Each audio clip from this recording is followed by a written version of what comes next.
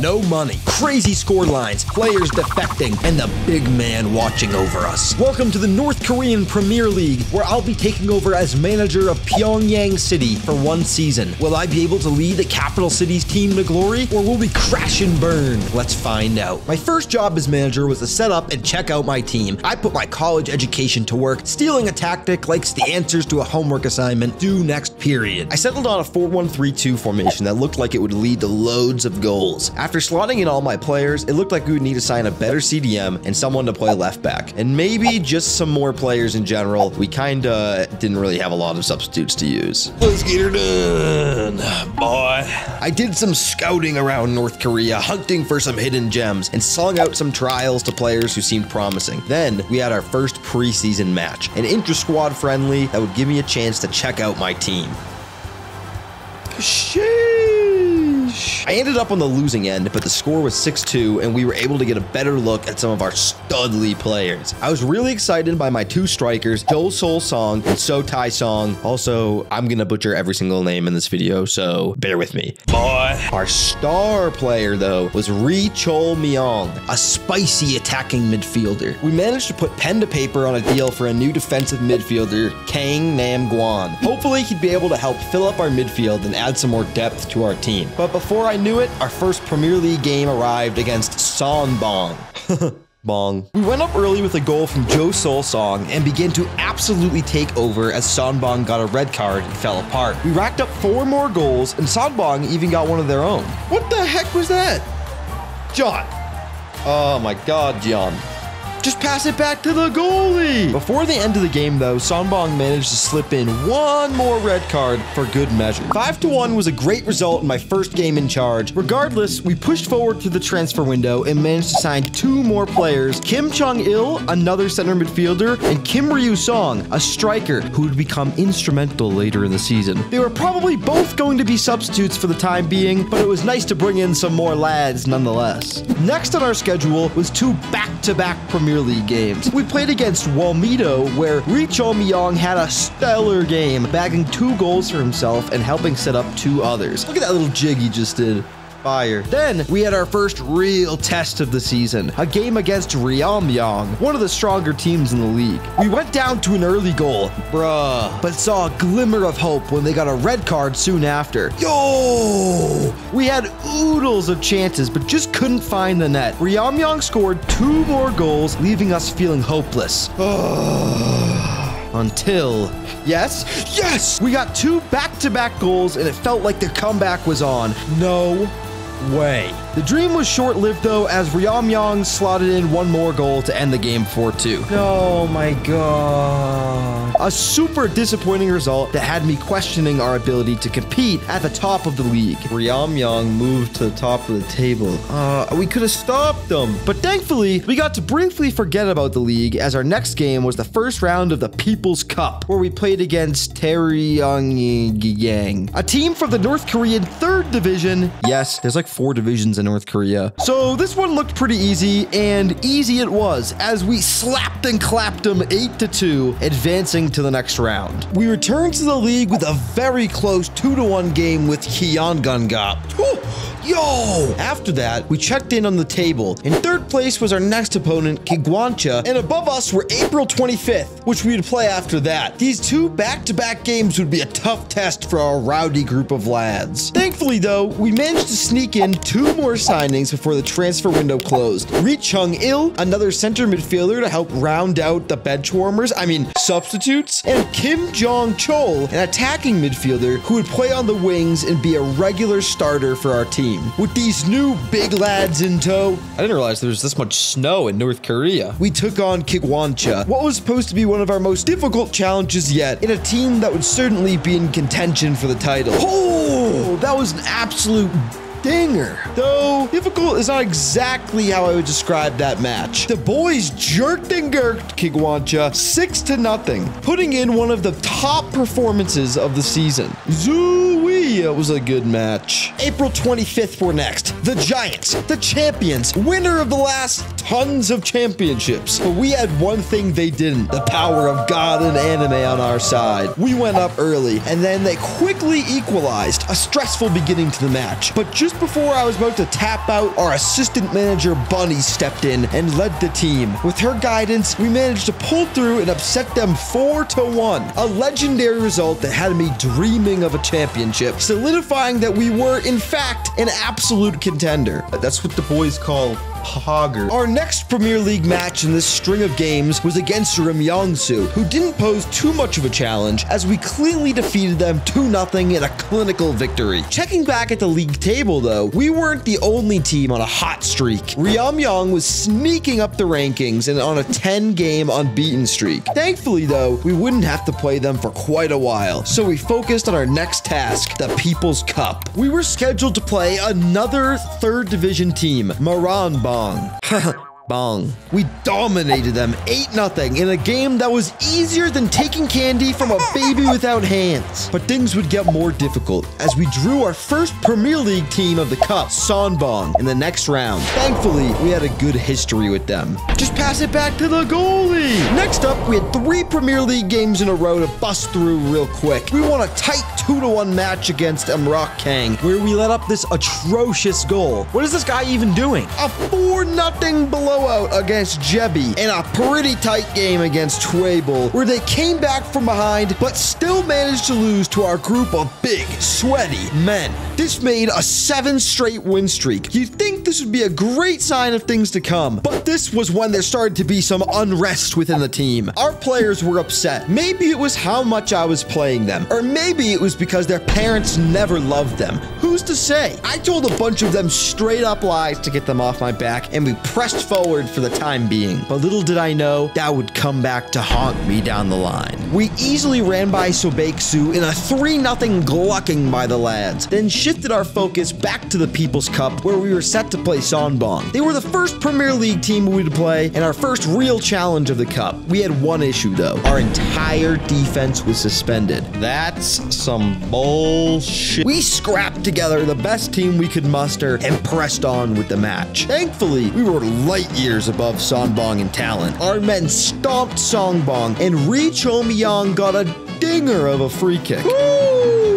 Doesn't get much better than that, baby. This win advanced us to the next round where we drew Gyeongguk for the quarterfinals, one step closer to the trophy. As unrest continued to grow in the locker room, we lined up for our Premier League match against Hwalmido. This was a wild game. Hwalmido came out hot and scored the first goal against us. Thankfully, though, we equalized it, trading a couple goals back and forth. Just as it seemed like the tides were turning in Hwalmido's favor, their inner demons took took over. With them losing a man, we took absolute control of the match, steamrolling them in the final minutes to win 4 to 2. What happened next, though, I was not prepared for. I got a surprise letter in my inbox. Our top goal scorer, Jo Sol Song, had defected from North Korea and signed with a Chinese team. Uh, so that just happened. This was a devastating blow to our team. Our gangbuster striking partnership was no more. We ended up having to slot in Kim Ryu Song, who was a promising striker, but definitely no Jo Sol Song. It is what it is, I suppose. Thankfully, though, the transfer window was approaching, so we would have the opportunity to look for more talent and potentially sign a more permanent replacement. I guess we can suffice till then and then see what happens. In the meantime, we had three Premier League games in rapid succession. A 3 0 slacking of Sonbong, where we once again showed them who their father was. Then a straight up BS loss to Ryumyong. We scored early, but they clapped back with a quick 1 2. Bruh, we managed to tie it back up. But then they scored this heinous goal. If that's on sides, then I'm the Pope. E editor Matt. Matt, in the future, you add the line on that and see if that dude was offsides. They scored one more goal to just really make my blood boil, so I decided to send the water bottle on a joyride. Ugh and proceed to the next match. Thankfully, my team got the message and returned to form with a 4-1 beating of Gyeongguk, helping to ease my pain and suffering. Ho ho, bar down dinger right there. Nonetheless, the transfer window opened up and I got straight to business. I was able to make a couple of moves. We signed a new backup striker, Kai Son Hyuk, who is kind of dookie, but what are you gonna do? We also snagged promising young center back, Pak Kwong Chon on loan from rivals Amrock Kang. This was a banger of a signing, and he would immediately be impactful in our next game against April 25. This was a grueling match straight from the get-go. April 25 scored. My goalie's a clown. Dropped his clown card in the pitch there. Dropped his clown license. Then we scored. Wasn't that good? Then April 25 scored. What? And then our new low knee center back dinged in this absolute screamer. Oh! Just as it seemed like we were starting to heat up, April 25 cooked in one more to make it a disappointing 3 to 2 loss. Bummer. Thankfully, though, we got to take a quick break from our recent mediocre Premier League form and focus on the People's Cup quarterfinals against Gyeongguk. Things were a little bit hairy, though, since we definitely weren't able to field our best team. Everyone knows the great North Korean saying, it is what it is. Regardless, we started off spicy with an early goal. They got one back, but we got even spicier, scoring two goals to make it 3 to 1. Tight, tight, tight, tight. Surely this would be easy, right? Wrong. They got one more to make it 3-2, a scoreline that briefly had my butthole puckering until we dinged in two more to make it a cozy 5-2 victory. Lovely.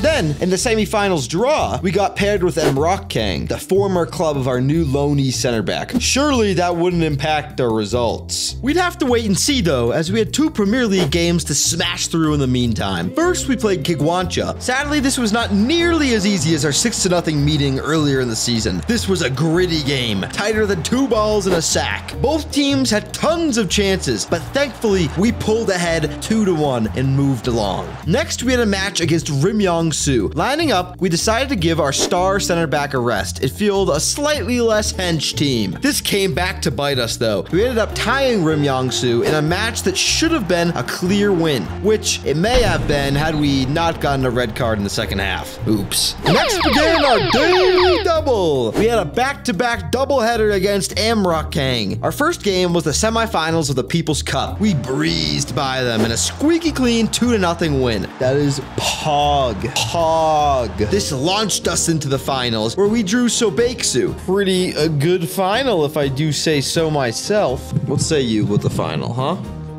You gonna piss on my floor? That's a yes. But before then, we had a rematch with Amrock Kang in the Premier League where they wanted revenge. This was a crazy tight match with a boring first half and an insanely close second half. Both teams had chances by the dozen, but nobody could break the seal. It left the match in a 0-0 tie. Checking back in on the league table, Ryomyong was right behind us. We were a cool five points ahead, but they had a game in hand, making for a title race tighter than my grip on reality. They will be catching up to us in a sketchy manner. What made it even closer, though, was our next match with Huebel. We went up early, but they tied it soon after. We scored again, putting victory in sight. Spicy. Surely this was in the bag, right? Wrong. We made an oopsies and got a penalty. They slotted it in, making for a 2-2 tie. Jeez. Finally, we had our very first Asian Champions League match, our chance to showcase our group of big, sweaty North Korean lads on the world stage. In our bracket was Bashundhara from Bangladesh, Kobe Leon from Japan, and United City SC from the Philippines, who we would go on to play in our first match. For some reason, playing a team from the Philippines, I'm pretty confident. Could a measly North Korean team compete with a real club from a normal country? Well, I immediately had my answer. We went up 2 0, leaving me ecstatic. Heck yeah. But they managed to clap back with a goal, and then another, and then another. Thankfully, we managed to tie it up before the end. Yes! Not our best result, but I at least knew we could hold our own with competition from other countries. Looking forward, we had two Premier League matches left. If we won our next game against Jebi, we would nearly cinch the title. I was expecting a grueling, tough match where Jebi would try and drag us down with them. Our boys had different plans though. Our team of big lads dinged and pinged in goal after goal after goal. Jebi literally couldn't stop us from scoring. We were hot, spicy, absolutely on fire. We managed to bang in 12 goals and then the comeback. Just joshing ya. Jeez. That was crazy. We won 12 to 1 and essentially won the league. That is, as long as Ryam Young doesn't win by over 12 goals in their last match. What are the odds of that? Up next was the People's Cup Finals, the North Korean People's Games Final. One more match until glory, one game closer to our dream. It began to slip away though, as Sobeksu dinged in the first goal, leaving us quaking in our boots. Oh, that's a wrinkle I was not expecting. We managed to pull ourselves together though and equalized. Run with it, boy. Run with that ball, boy. Boy. The game got tighter and tighter as we took them into extra time, but our inner demons took over, and we got a red card. Our dream was slipping away. This called for drastic measures. We're gonna play the wiener. I dug deep into my pocket and pulled out my secret weapon, the wiener formation. With this tactic, our Glizzy Warriors penetrated their backline with full force, scoring a miraculous goal in the last minutes of the match. We did it, buddy. We did it. Yeah, yeah, yeah,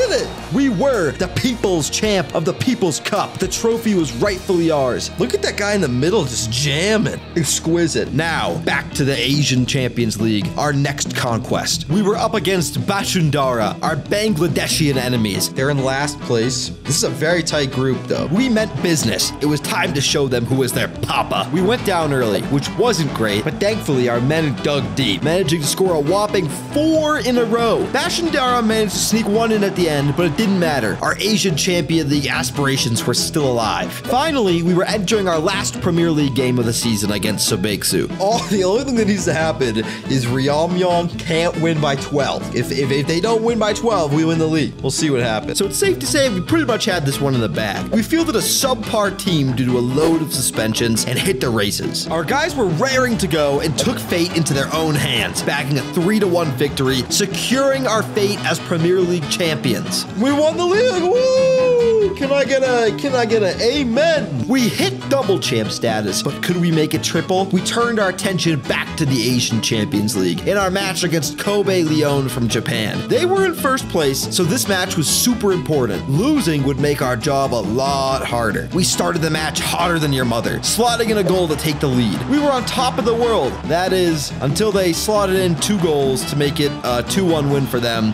Not ideal. Now this, this is where things started to fall apart. We were deep into the season. I mean deep. Essentially in the next season, contracts started to expire, loans started to end, and we lost some valuable players. Our star center back, Kang Kuk Chol, and our loanee, Pak Kwang Chan, went their separate ways, leaving the club. It's okay though. They were dead to me. Good luck to them. We had an Asian Champions League to win. Our next match was our second one against United City FC from the Philippines. We had to make a statement. We put together a scrappy team with the players we had and got to work. Needless to say, our defense was still solid because the lads slotted in goal after goal after goal after goal, banging them up 4 0 in a decisive victory.